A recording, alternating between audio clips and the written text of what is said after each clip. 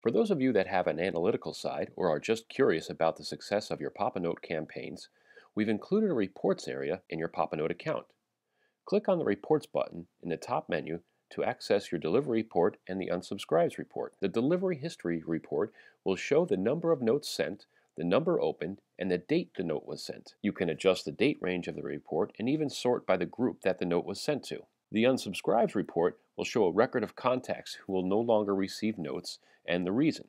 For example, we tried to send a note but received a message back that the email address was bad, or the recipient clicked the unsubscribe link located at the bottom of each note, or maybe the contact mistakenly marked a note as spam, in which case the words abuse report may appear. Pop-a-Note adheres to the CAN-SPAM Act and therefore will not send notes to bad email addresses or those that have unsubscribed or submitted abuse reports. By the way, if you notice that the email address is bad because of a typographical error, return to the contacts area and use add contact to add the contact again, this time with the correct address. If you are interested in specific data for an individual note, go to the note history area and click the delivery report icon.